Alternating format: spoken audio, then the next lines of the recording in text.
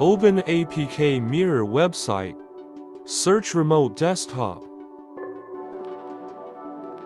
Select Microsoft Remote Desktop.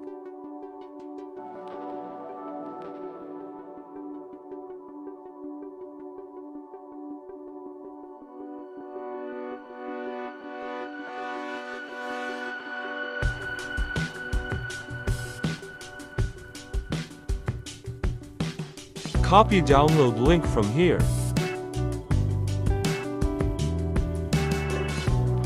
Go to ShortURL add and make short URL. Write it down. Open Google Play Store.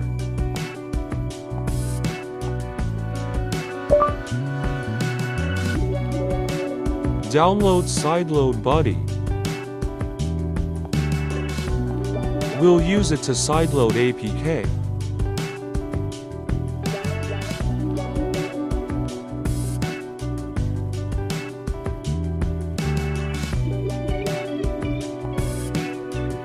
Open menu and install from URL. Enter download URL made earlier. APK will be downloaded to download folder.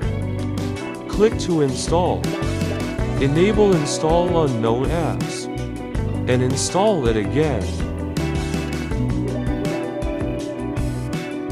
Browse to download folder.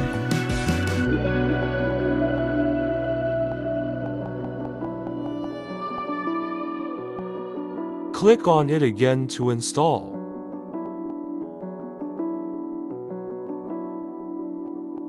Press back to return. This is it, the remote desktop.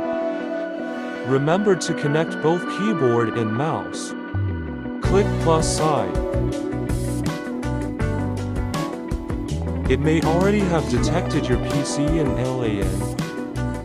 Type username and password and connect.